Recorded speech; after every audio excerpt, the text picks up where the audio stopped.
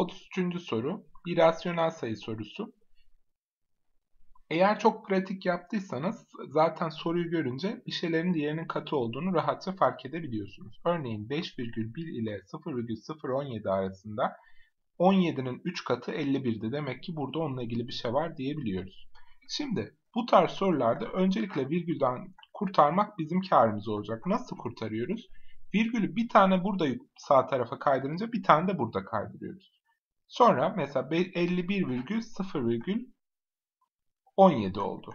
Şimdi üst tarafta artık kalmadı kaydıracak bir yer ama alt taraf hala kurtulmadı virgülden. Ne yapıyoruz? Bu sefer buraya 0 atıyoruz, virgülü buraya kaydırıyoruz. Bir tane daha 0 buraya. Artık bu 5100 bölü 17 oldu. Buna denkmiş demek. 5100 bölü 17 nedir? 51 17'nin 3 katıydı. 2 tane sıfırı buraya attım. 300. 300'ü yazdım. Artı.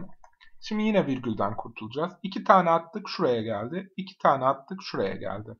Üst taraf kurtuldu 9 oldu ama alt tarafta hala bir basamak daha var. Dolayısıyla üstte bir tane sıfır atıyorum. Virgülü buraya alıyorum alttan da. 90 bölü 3 ise 30. Artı burada üst tarafta virgül yok. Alt tarafta var. Alt tarafta bir tane bu tarafa kaydırıyorum. Üst tarafta da virgül olmadığı için sıfır atıyorum. 10 bölü 1 oluyor artık. 10 bölü 1 de 1. Dolayısıyla 331 oluyor, olarak buluyorum.